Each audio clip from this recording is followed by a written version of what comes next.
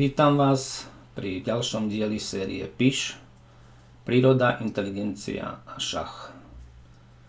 Možno ste si všimli, že na úvod som umyselne nevyriešil 10 úloh. Začínal som s ratingom asi 1600, potom sa mi podarilo 10 úloh vyriešiť. A napriek tomu je môj rating asi o 1000 menší. Jednoducho z kopca sa ide rýchlejšie.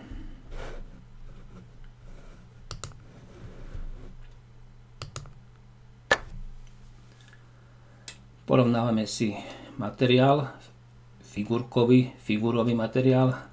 My máme jazdca a super má veľkú materiálnu prevahu. Má o dve ľahké figúry viacej o väžu, ale my máme za dámu. Takže 9 plus 3 je 12 a 5 plus 9 je 14. Takže tá prevaha nie je až taká veľká. Čo zahráme? Máme napadnutého jazdca. My neutočíme súperovi na nič, ale môžeme mu dať vidličku. Napadneme súčasne z pola E2 kráľa aj väžu. Teraz tú väžu získame.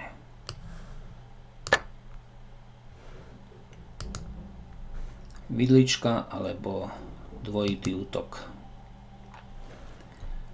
Vidlička, dvojitý útok nastane vtedy, keď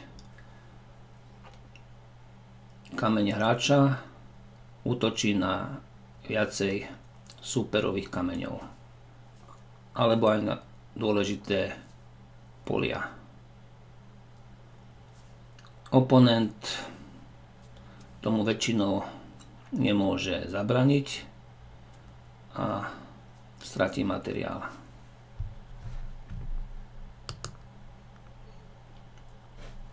Pozrieme si diagram. Zatiaľ je to v poriadku. Pokračujeme druhou úlohou. Sme bieli. Máme väžu jazdca, super má tiež väžu a jazdca. Superov král nám útočí na jazdca. Čo môžeme zahrať? Opäť to bude vidlička. Tento raz pola D5.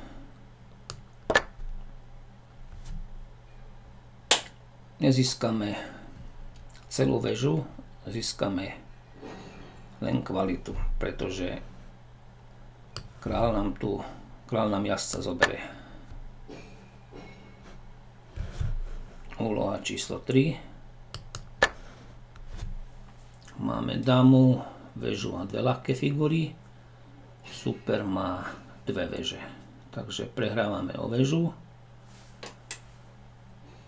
super nám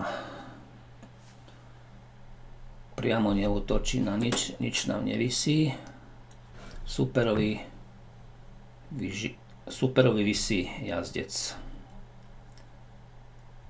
Toho jazdca aj môžeme získať, len stále bude mať materiálnu prevahu super. Ale posledný superov ťah ktorým vzal. Vyzerá, že to bola chyba. Teraz my môžeme vziať tú dámu.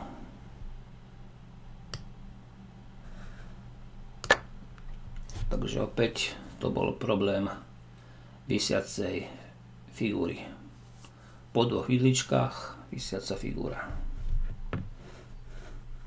Problém číslo 4 veže, dva jazdce. Dokopy 16 bodov. Super má dámu a väžu 9 plus 5 je 14. Sme na tom lepšie a navyše superovi vysí dáma, ktorú jednoducho vezmeme.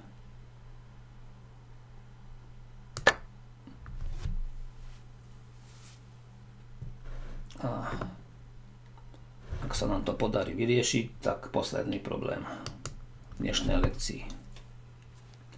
Sme bieli, máme dve veže strelca, super má o väžu viacej, ale nemá dámu. Takže my máme 10, 13, 22 a super má 10, 16, 19. Tak sme na tom lepšie. Pozrieme si, či nám niečo vysí. Nevyzerá to tak superovi. Tiež nič nevisí, okrem tohto jazdca, ktorého môžeme beztrestne vziať. 15 problémov dobre po sebe, napriek tomu naše ELO je o mnoho nižšie ako na počiatku, ale už sme sa aspoň dostali na 700. Týmto končím lekciu zo série Príroda, inteligencia a šach.